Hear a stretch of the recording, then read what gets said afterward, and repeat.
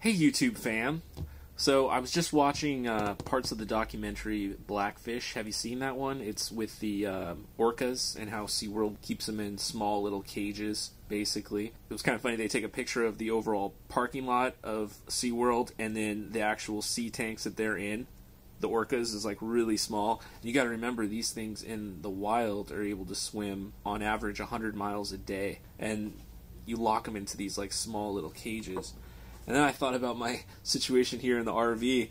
Um, man, I feel like I'm in a little cage. Like, if you take Google Earth and you zoom out, just even above a city, zoom out, you'll see all this land, man. We are not, like, landlocked.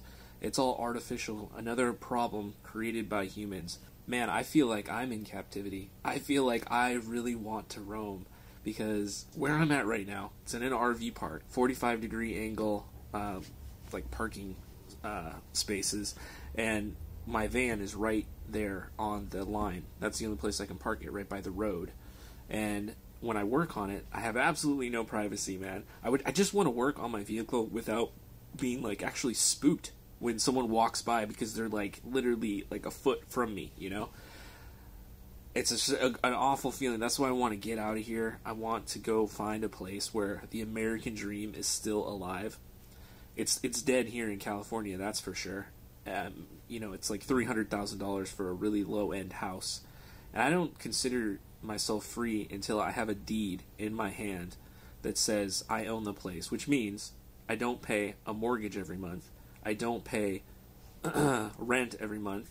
Can you imagine what that would be like if you just canceled that biggest line item out of your month to month expenses? That's what the beauty of owning the deed is on a property you've got that paid off. Now you've you're into the wealth building stage. Your money goes so much farther. For instance, okay, so I paid off my debt, and when I was able to do that, I was able to start uh, saving money and doing like more risky investments. I, and I invested in Bitcoin in, back in 2013, and I just put a portion of my paycheck into it. It was a bet. I thought I believed the technology, what was behind it, and I thought this very well could be the next currency or something like it.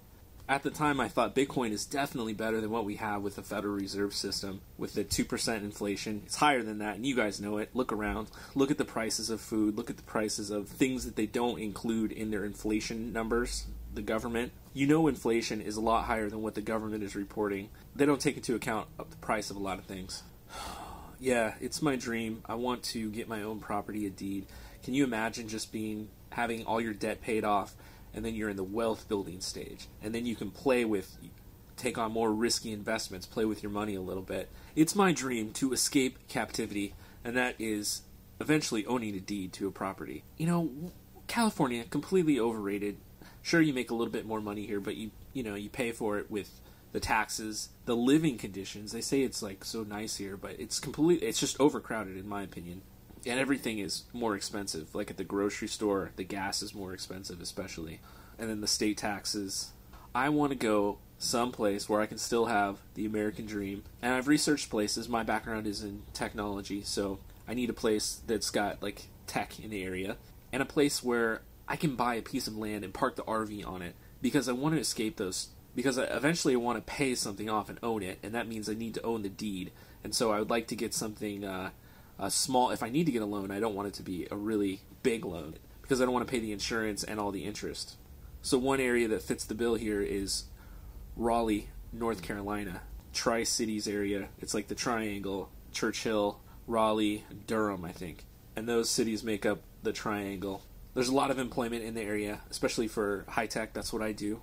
I won't make as much out there, but I'll also have the opportunity to get a cheap mortgage $100,000 on a small house, and really all I want to do, I just need somewhere to park my RV. And I'll have the chance to experience the American dream, owning a deed to a property. And it'll be nice to always have a place that I can call home, a pl- you know, while I explore the country, come back, that's my, my spot. Also have the ability to rent it out, so while I'm away, I can rent it out. Or, if I get the right property, I might be able to park the RV back there, and then also simultaneously rent out the house. Because I own the land, I should be able to put a fence in there to give me privacy in my own area to park the RV. And, you know, I could get half of an acre out there for fairly cheap. So that's my plan. I don't want to live like the dolphins in SeaWorld. I want to be this human that has his space, his freedom, some privacy, my own fresh air to breathe in, and the ability to not be a slave to debt, owning the deed. I think that's key. All right, so what are you guys' thoughts on this? Do you think this is a good idea? Every idea has pluses and minuses, so I'd like to hear what you guys think are those pluses and minuses. So thanks for watching, guys. Don't forget to hit the like button and pay off your debt in that order. And you, there, go get that deed.